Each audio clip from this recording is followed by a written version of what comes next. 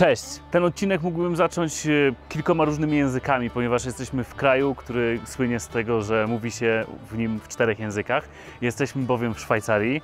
E, Tutaj obok mnie jest Pilatus. Pilatus to bardzo piękna góra, która znajduje się w środku Szwajcarii. Nie jest to najwyższa góra Szwajcarii, ale zdecydowanie jedna z najfajniejszych i polecam Wam tą górę odwiedzić. A skoro już jesteśmy w Szwajcarii i skoro jesteśmy już na górze, to przygotujemy danie szwajcarskich górali. Tym daniem jest fondue, czyli taki roztopiony ser, w którym macza się kawałki chleba, ziemniaki lub inne rzeczy. Danie to było wcześniej daniem regionalnym, ale w latach 30. szwajcarska Unia Sera rozpromowała fondue oraz raclette jako dania narodowe i dziś każdy Szwajcar takie danie uważa za swoje danie narodowe. Aby przygotować fondue będziecie potrzebować dwóch rodzajów sera. Ja mam akurat gruyère oraz lokalny tutejszy ser, który wytwarzany jest na Pilatusie, ale w Szwajcarii najczęściej wykorzystywany jest również Emmentaler, który powinniście z łatwością kupić w Polsce. Poza serem istotne jest również białe wytrawne wino. Ja mam wino, które jest również lokalne, ale możecie użyć tak naprawdę dowolnego wina. Poza tym kirsz. Kirsz jest dość trudno kupić w Polsce. Jest to rodzaj owocowego brandy, inaczej winiaka, który wytwarzany jest z wiśni.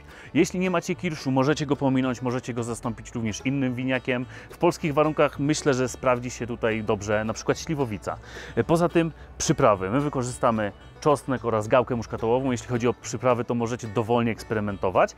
E, I jeśli chodzi o sam ser, który będziemy roztapiać, to będziemy potrzebować również odrobinę skrobi kukurydzianej albo skrobi ziemniaczanej. My w naszym roztopionym serze będziemy maczać kawałki pieczywa, które wcześniej pokroiłem, ale oprócz pieczywa możecie wykorzystać również inne rzeczy. Tutaj też możecie dać ponieść się fantazji. Do przygotowania fondue będziecie potrzebować garnka, który ma grube dno. To jest akurat kaklon. Kaklon jest wykorzystywany do przygotowania fondue, ale jeśli takiego garnka nie macie, możecie wykorzystać dowolny garnek.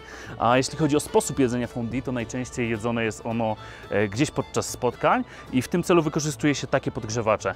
Jeśli chodzi o przygotowanie, to najczęściej robi się to po prostu na kuchence, więc Wy też możecie zrobić to na kuchence, a kiedy fondue jest gotowe, stawiacie go na taki podgrzewacz. Ja tu akurat będę robił to w wersji polowej, w takich warunkach dość trudnych, dlatego wykorzystam e, podgrzewacz, ale Wy możecie zrobić to spokojnie na kuchence elektrycznej. E, Jeśli chodzi o to, w jaki sposób będziemy te, to pieczywo lub inne rzeczy maczać, wykorzystywane są do tego takie dość długie widelce. E, Często te widelce mają różne końcówki, aby ludzie nie mylili, który widelec jest kogo. No ale nie przedłużajmy, przejdźmy już do przygotowania, bo jestem naprawdę bardzo głodny. A przygotowanie rozpoczynamy od tego, że miażdżymy ząbek czosnku. I teraz tym zmiażdżonym ząbkiem czosnku dokładnie smaruję garnek. Garnek smaruję zarówno na spodzie, jak i na jego bokach. Jeśli jakieś elementy tutaj czosnkowe Wam e, do tego garnka wpadną, to nie przejmujcie się. Ja czosnek generalnie w garnku zostawiam i tak robi również wiele innych osób. Teraz garnek możemy postawić na ogniu. Ja, tak jak mówiłem, używam trzech podgrzewaczy, dlatego że nie mam tutaj dostępu do kuchenki, ale Wy połóżcie go normalnie na kuchence, użyjcie średniego ognia. E, No i teraz pora na dodanie białego wytrawnego wina. Ja tu mam około 200 ml, ale dodaję mniej więcej 150 i całość będę podgrzewał. Kiedy wino jest w garnku, pora na dorzucenie skrobi do sera. Na początek jedna łyżeczka, ona w zupełności wystarczy, później w razie konieczności możecie dodać jej jeszcze troszkę. Skrobię wrzucam do sera, a następnie mieszam. Teraz, kiedy wino jest już gorące, nie musi ono się gotować, może się gotować, ale nie musi. Rozpoczynam dodawanie sera. I teraz to jest bardzo ważne, żeby ten ser wymieszany ze skrobią dodawać powoli.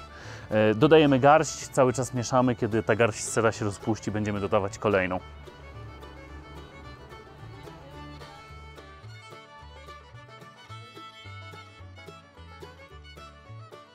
Teraz, kiedy cały ser jest już rozpuszczony, a my mamy tutaj taką piękną, ciągnącą się konsystencję, możemy przejść do doprawiania. Jak widzicie, ja nie wykorzystałem całego wina. Jeśli chodzi o wino, to właśnie winem możecie sobie regulować to, jaka będzie dokładnie gęstość waszego fondue.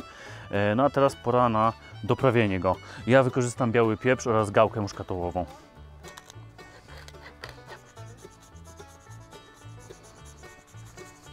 Teraz to wszystko jeszcze raz dokładnie mieszam i pora na dodanie kirszu. Fondue to narodowe szwajcarskie danie i wytworzyła się też pewna etykieta tego, jak fondue jeść. Jeśli chodzi o widelce, na które nabijamy pieczywo, to jeśli chleb spadnie nam do garnka, to jest to wielkie faux. I taka osoba, w zależności od tego, z kim takie fondue je, może być w pewien sposób ukarana. Niektórzy mogą kazać Wam zaśpiewać piosenkę, inni mogą kazać Wam pić kolejkę jakiegoś y, lokalnego trunku, a jeszcze inni mogą kazać Wam biegać na przykład nago w śniegu, więc uważajcie na to. Dobra, i teraz chyba pora na najważniejszy etap tego przepisu, czyli na próbę smaku. Na widelec nabijam pieczywo, a następnie zamaczam je w serze.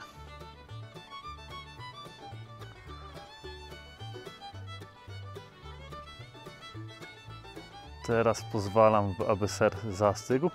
Ja już nie mogę doczekać się tego, co zrobię za chwilę, bo za chwilę to